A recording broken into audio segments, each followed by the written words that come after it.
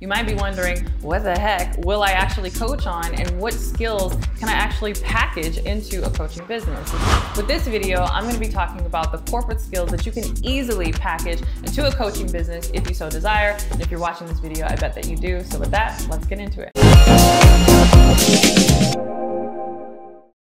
Hey, hey, Courtney Sanders here. Welcome back to my channel. If you're new to me, I'm a full-time seven-figure certified life and business coach as well as wife and mom. I wear all the hats and do all the things. And lately, I've been helping corporate professionals transition into the coaching business of their dreams. And so if that's you, you might be wondering, what the heck will I actually coach on and what skills can I actually package into a coaching business? And so I know for a lot of my corporate professionals, you feel very much like, oh, you know, I just work this nine to five job and all I do is deal with these TPS reports. Shout out to those of you who remember the Office Space, the movie, right? Before Office Space, the uh, TV series came out and those daggone TPS reports. And so if you're wondering, you know, what do I actually have that's of value that I can offer? You would be shocked, especially if you are a high level corporate professional, if you work in management, if you have any type of leadership role whatsoever, I think you're selling yourself short. I think you have a lot more to offer than you think you do. And so with this video, I'm gonna be talking about the corporate skills that you can easily package into a coaching business if you so desire. And if you're watching this video, I bet that you do. So with that, let's get into it. All right, so the first skill that you have as a corporate professional, especially if you are in any type of leadership or management role, is that of managing others. Yes, managing other people. Managing others requires team building, it requires um, emotional intelligence, it requires great communication, and you can transfer those skills into a variety of different coaching arenas, even if you don't want to do something in the business realm. I think one of the biggest misconceptions people have when they are building their coaching business, and particularly when they're choosing their niche, is they believe that they have to choose a niche that is exactly the niche that they are in presently or exactly the niche where they got the skills from. But that's not the case. Maybe you don't want to coach on anything related to corporate America. You don't want to coach on anything related to business. Well, that doesn't mean that you cannot transfer those business skills. In fact, I often think about many experts in uh, law enforcement and the military. There's a lot of um, great negotiators who have done like hostage negotiations. And again, they have done that in like a, a law enforcement or military aspect, but but oftentimes when they leave their law enforcement or military career, they will often work in business or some other arena because those negotiation skills are transferable or those high stakes communication skills are transferable. And so it's the same thing for you. Maybe you've learned a variety of different uh, tactics and methods for, you know, getting the best out of others, for communicating effectively and for achieving particular outcomes when you have to work with a team. You don't have to just, you know, coach that in corporate America. You can coach that maybe in education you can coach that to parents. Maybe you can help parents communicate better with their teenagers, right? That's a perennial frustration that a lot of parents have. I haven't reached that yet. My kids are small, but I imagine that I'll get there. Again, you can take the same communication skills, the same emotional intelligence skills, and team building skills that you have mastered in corporate America, and you can put them to work in a variety of arenas that a lot of people would be willing to pay you for. And speaking of high stakes negotiation, if you have done any type of negotiating in your corporate field or you have developed that skill, that is gonna be hugely, hugely valuable. You could offer that in the form of business coaching for up and coming entrepreneurs. You can offer that for other people in a career context. You could even offer that in relationships, right? You can help um, people who are in, you know, struggling relationships maybe manage their relationships a lot better by learning how to negotiate their needs, right? Maybe you are helping failing marriages communicate better by learning the art of tactful negotiation or win-win negotiation where everyone is getting their needs met again, you're like, well, you know, how can I possibly do that if I did this in corporate America? Again, it's understanding which skills are transferable, learning how to put them in a coaching context, and then coaching in the arena that you so choose. And so if you're wondering how you put that in a coaching context, that's actually what I teach in my coaching program, the Next Big Name Coach, which is a program that will help you become not only a certified coach, but we provide you with an accredited coaching certification and we show you how to come up with your own coaching methodology based on your unique story and your unique skills. So if that is something that is of interest to you, you can click the link to learn more about it and apply. And if accepted, you'll be invited to a call with my enrollment coordinators who will walk you through the entire process. But yeah, if you've done any form of negotiating, you can do this in a variety of contexts. And there are a lot of people in and outside of business who would pay you a lot of money to help them negotiate.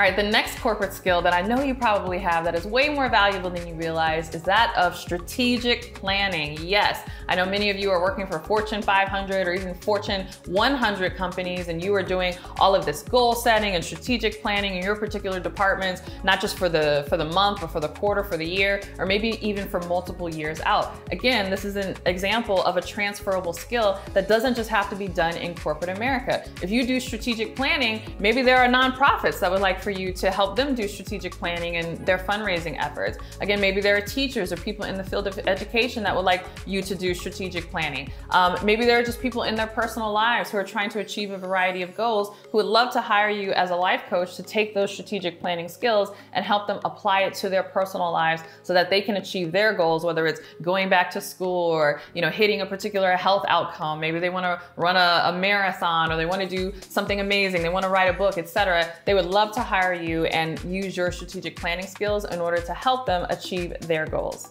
All right, I have more where that came from, but first I want to hear from you. What corporate skills have you mastered? Share in the comments below. All right, the next corporate skill that you probably have is that of innovation. Yes, companies cannot grow and be successful if they don't have employees that are constantly helping them innovate. And so maybe you are on a marketing team or a product development team and you have tried and true practices and principles that you use in order to be creative and to come up with new innovative initiatives inside of the company. Well, guess what? There are a lot of people who would love to pay you to help them with that. Maybe it's up and coming entrepreneurs who are just getting started and they can't can't figure out how to stand out in their niche, they would love to pay you to learn those innovative principles so that they can innovate in their industry. Maybe there are people who are looking for their dream spouse or their dream partner who would love to hire you in a relationship context because you can use those creativity and innovation skills to help them stand out in the dating market. Again, this is an example of how we can take skills in one arena and really transfer them elsewhere. Maybe there are teachers or people in the field of education who would love to hire you to leverage your innovation skills so that they can better reach the youth that they are looking to work with. Or maybe there are uh, students who are neurodivergent or have different ways of learning and they would love to hire you and for you to help them be innovative in how they even approach the field of education. Again, the sky is the limit. We got to be creative. And if you're in the innovation team at your job, you're a creative person. Think about all the different ways that you can use that creativity in a coaching practice to help people in a variety of arenas. All right, the next corporate skill that you've probably mastered, especially if you were in the field of leadership, is that of executive presence. Now, a lot of people don't even realize that they have this, but if you are consistently giving presentations to the board, if you've been promoted recently, if you often have to interact with outside vendors or outside stakeholders and your boss is always putting you up to that because you do a good job of entertaining them, of you know taking them out on the company dime and really uh, selling the products and services that the company offers, that means that you have some level of executive presence. And so executive presence is kind of this intangible quality that really is the confidence that you carry in the way that you show up and carry yourself. And so there are a lot of people who would love to have executive presence, even if they're not using it in a business context. Again, in dating relationships, you can see the obvious, you know, uh, carryover with that. You could transfer that to the relationship standpoint, how to use executive presence that you use in the boardroom, how to do that in a relationship context. But you can also help maybe um, grad students students who are looking to get into their uh, first uh, field that they have been studying so long for, how to have executive presence so that they can land those lucrative jobs. Um, you can help people have executive presence, again, in the field of education, in nonprofits, volunteering, right? Um, maybe people who just need help with communication, maybe people who are shy and deal with introversion, and you're gonna help them be more confident in whatever arena or field that they do. Um, I remember I had someone in my audience who told me that they did executive presence for aspiring pageant winners, right? Women who are entering different um, pageants and needed to show up confidently in uh, their pageant events, right? So again, executive presence and that confidence that you develop from executive presence is really transferable. You can use this in a variety of arenas. All right, the last corporate skill that you might not have even thought of, in fact, you might not have even considered this as a skill, but that is if you represent a minority in any type of majority dominated field, right? So I'm not just talking about, you know, race or ethnicity, though that certainly counts, But if you are a woman who, you know, is operating in maybe a male dominated field, or maybe your age, right? Maybe you're a young person who is in a field where everybody is decades older than you. Or maybe you're someone who's a bit seasoned in life and you're in a field that is very popular with young people, yet, yet you're being very successful at your age. This is what I'm saying. If you kind of represent any type of underdog demographic in your particular field at work, that also transfers and you can really take the skills that you have mastered in navigating that. It can be very difficult to be, you know, a woman in a male dominated field. What skills have you mastered in order to be successful? It can be difficult being, being very young, you know, in a field where everybody is, you know, much older than you and, you know, you want them to take you seriously. What are the things that you have done to really make sure that you are successful? What are those skills? You can package that up and you can transfer them into a different arena and help people be successful where they are the underdogs in their particular situation. So don't sleep on that. Again, I know that's not something that a lot of people think of, but if you find yourself in that position and you've been successful at it at work, that means you've developed some skills that other people would gladly pay you for. All right, thanks so much for watching. I hope you enjoy this and this is making you think differently about all the skills that you can package into a coaching business.